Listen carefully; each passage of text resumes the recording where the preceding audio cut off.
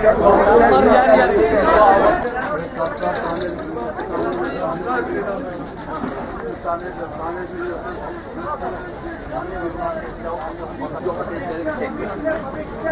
Gel şunları bir çek.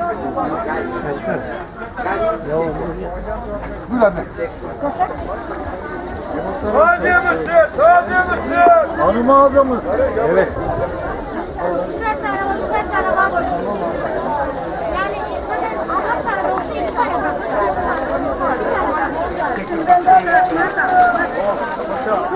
Kalmıyor. Satılıyor hepsi kalmıyor ki.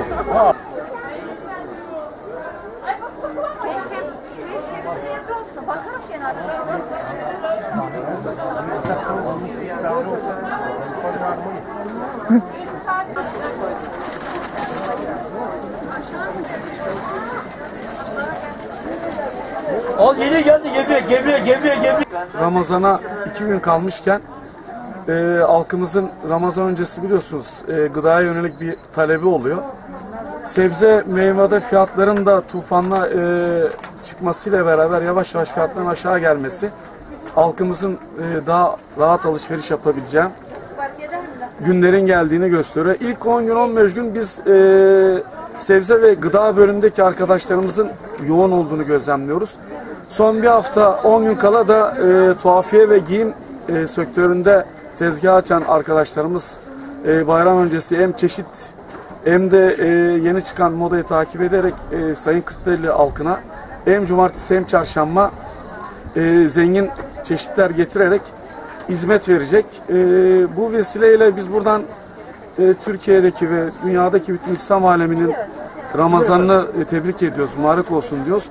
Buradan da e, bu temennide bulunuyoruz. İnşallah ülkemiz terör belasından kurtulur.